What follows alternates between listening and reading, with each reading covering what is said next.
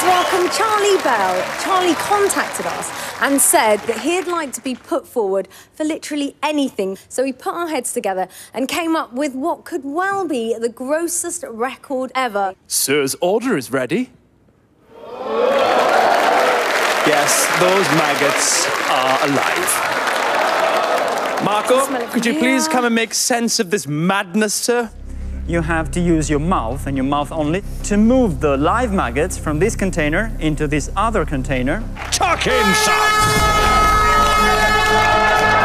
Ah, goodness! Oh. Live, writhing maggotry. Go on, son. Get stuck in. Charlie will continue to move maggots with his mouth for the next hour. Ah. Charlie has about half an hour left of maggot moving. We'll catch up with him in a little bit.